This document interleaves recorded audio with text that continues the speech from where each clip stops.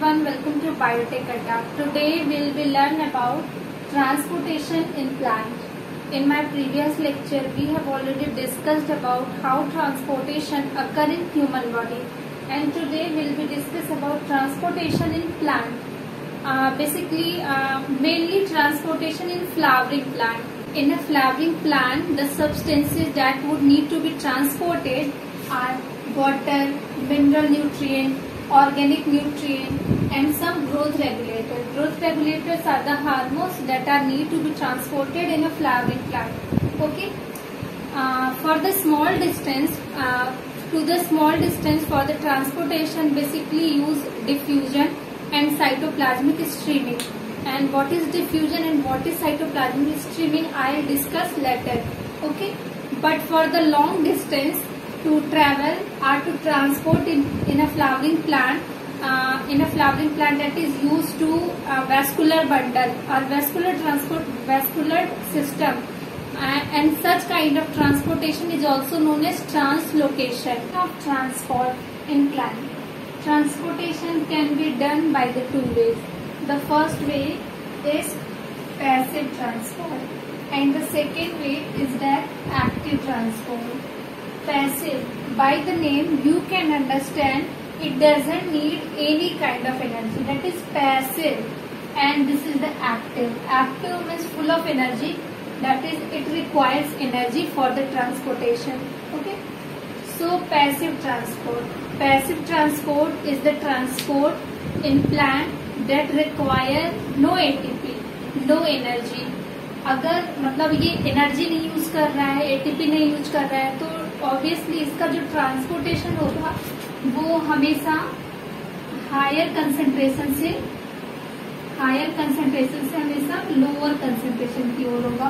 क्योंकि जब पानी या मान लीजिए उसको ज़्यादा से कम की तरफ़ आना है तो एनर्जी की रिक्वायरमेंट नहीं होती, लेकिन अगर आपको कम से ज़्यादा की ओर भेजना है तो ऑब्वियसली आपको एनर्जी की रिक्वायरमेंट होगी।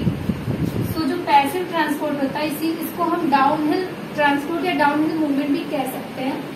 कहते भी हैं तो पैसिव ट्रांसपोर्ट भी दो टू वे से होता है. First is diffusion and second one is facilitated diffusion diffusion and facilitated diffusion diffusion diffusion जो होता है, वो इसमें कोई हार्मोनल रेगुलेशन या किसी भी रेगुलेशन की ज़रूरत नहीं होती और ये हमेशा सिलेक्टिव ये सिलेक्टिव भी नहीं होता है.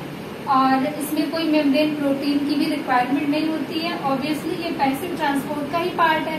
तो इसमें कोई एटीपी की भी रिक्वायरमेंट नहीं होगी और ये भी हमेशा अपने हायर कंसेंट्रेशन से लोअर कंसेंट्रेशन की ओर ही होगा. ओके ये हो गया डिफ्यूजन अब बात करते हैं फैसिलिटेटेड डिफ्यूजन की.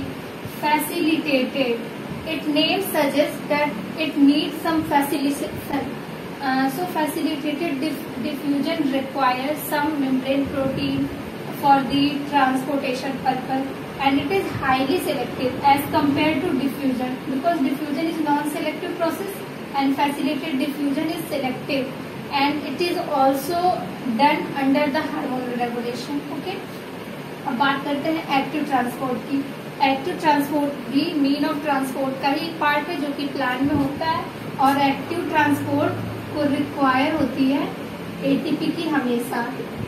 ये बिना एटीपी के काम नहीं करेगा, क्योंकि ये एक्टिव है। Okay so active transport require ATP for the transportation purpose okay और जो एक्टिव ट्रांसपोर्ट होता है, ये भी सिलेक्टिव ही होता है। इसमें भी कई सारे पार्ट्स आते हैं। और जो एक्टिव ट्रांसपोर्ट होता है, ये भी अंडर हार्मोनल रेगुलेशन ही होता है। इसको भी हार्मोनल रेगुलेशन की ज़रूरत होती है। और the most important thing active transport हमेशा लोअर कंसेंट्रेशन से अपने हायर कंसेंट्रेशन की ओर होता है लो टू हाई होता है।